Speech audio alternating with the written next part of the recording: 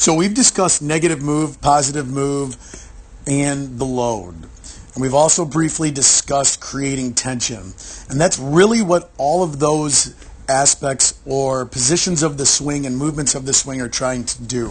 They're trying to set us up to create tension, resistance, separation in what we call the launch position. And this is the launch position here. And there's some things that we're looking for in each of these athletes that we're going to play through here. Okay? And what we're looking for is we're really looking for oops, sorry. We're really looking for a front bent knee. Front heel is flat on the ground. We're going to look probably for a partially bent back leg, but a long back leg. And by long back leg, what I mean is if you can see the hips here, we're starting to create a rotation. So we're going from internal rotation on that back leg so we've got internal rotation right here. And we're eventually going to get to external rotation or hip extension. And then that's going to turn into internal rotation at the front leg as we swing. But what we're trying to do in this position is create stretch. So that's the whole idea of the negative move, forward move, the load, all of that is to get to this position here and create stretch.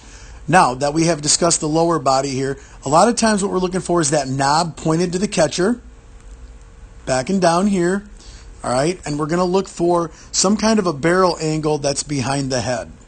Another thing we want to look for is the shoulders.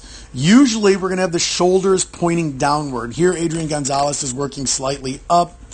Uh, could be dependent on when this picture was taken, but we want it working slightly down typically.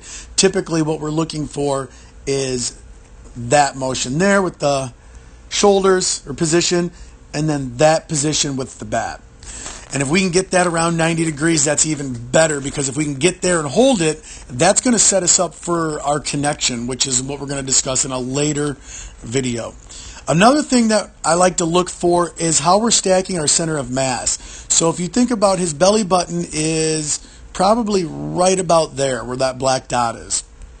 Now, if you look at his nose, he's got kind of a negative relationship with that belly button. All right, the nose is slightly in front of the belly button. All right, it's or it's stacked right over top of it. What we don't want is the nose to be behind the belly button in that fashion. We don't want to set that tilt too early. Setting the tilt too early means we're tilting before we're going to the pitch and that back shoulder is going to drop a little bit too much and we're going to be working too much uphill. So everything in the negative move, the forward move, the load is getting us set to get into this good launch position. Here's Trea Turner here, another example of an athlete in a pretty good position here. Okay, go back to Trey. Um, you can see here he's got some of the same things we've talked about. All right, he's got a front bent knee, his heels on the ground, his back leg is a little bit long, slight bend there.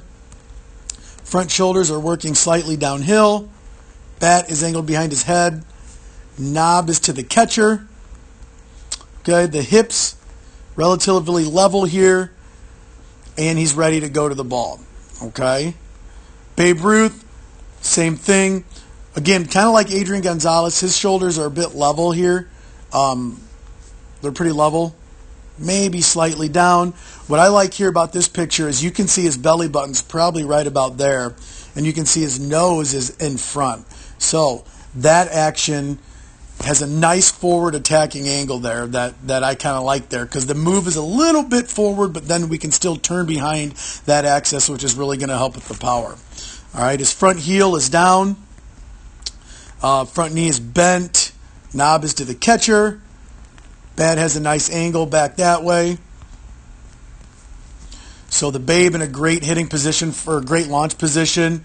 Soto a lot of the same things here, all right? Front heel's down, front knee's bent, back leg is long, slightly bent. Knob isn't quite to the catcher, that's okay, but it's close. We got a good bat angle. And if you look here, his bat, just like that, his shoulders right there, his shoulders relatively, oh, his shoulders are relatively level, and his bat's right there. So he's right about 90 degrees there, which is where we want to be. And then Cody Bellinger, great position here. Heels down, front knees bent, back knee slightly bent, a little bit longer. Forward attacking shoulders. Hips are level, starting to open. Knobs angled to the catcher. Nice position, checking all those boxes. And the GOAT himself, Bonds, excellent position here. Forward leaning. There's the belly button. Nose is in front of the belly button. Bad angled behind the head. Knob to the catcher. Heel on the ground. I know we can't see that, but perfect position there for Bonds to set himself up. And then Mookie Betts. This one's excellent. It's a little bit more drastic than some of the other ones. That's why I like it because you can see his front foot on the ground, front knee bent, long black leg, long back leg, knee bent there, uh, knob to the catcher, hips relatively level, nice downward forward attacking angle. That's at about 90 degrees. And he, I mean, he's ready to unload here. So with the launch or the um, which with the launch position, this is where we want to be. And here's Trout just doing an exemplary job of it. Front knee bent, back knee heel on the ground, front heel on the ground, back knee bent, long back leg, hips relatively level, shoulders level or slightly down, belly button's there or about there, nose is right in line with it. Now to the catcher, good bad angle. So as we see this, this is where we need to be. This attack angle or this launch position as we see Bonds get into it right there. This is where we want to get. This is where our load is setting us up to get. Balanced. We move the center of mass in a balanced manner, control it. The hips are leading, and we have our stretch. We've got stretch this. We've got stretch from the front foot to the hands.